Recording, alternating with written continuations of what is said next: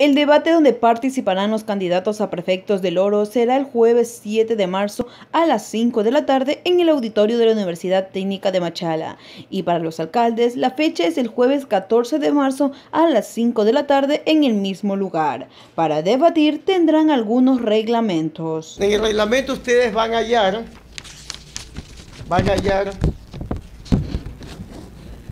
¿En qué va a consistir el debate? Va a haber una propuesta de campaña con tres minutos, una pregunta sobre el sistema vial de dos minutos, salud y educación dos minutos, turismo y cultura dos minutos, medio ambiente, dos minutos. Les vamos a entregar a ustedes para que conozcan, solo hay un cambio aquí.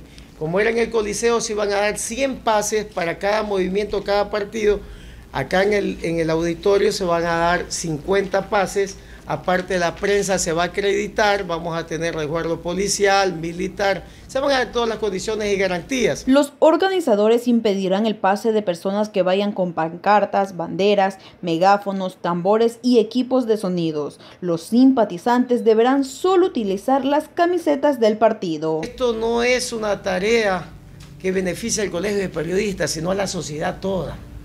Nosotros debemos ser el nexo, el vínculo entre, la entre los candidatos y la sociedad, que la comunidad machaleña y orense conozca las propuestas de nuestros candidatos y saber elegir bien. El evento tendrá la duración de dos horas. Pienso que el compañero presidente del colegio tiene que hacer una pequeña reunión de trabajo antes de eh, el día indicado para más que todo afinar, ¿verdad? A los medios de comunicación y hacer un reglamento exclusivo para los medios de comunicación o por lo menos algún tipo de guía.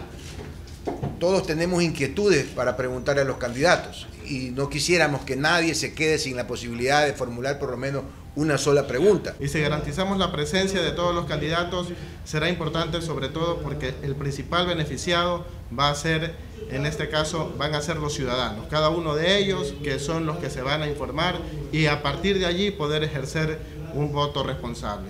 Clever Aguilar indicó que hasta el momento todos los candidatos, tanto como prefectos y alcaldes, han confirmado su asistencia.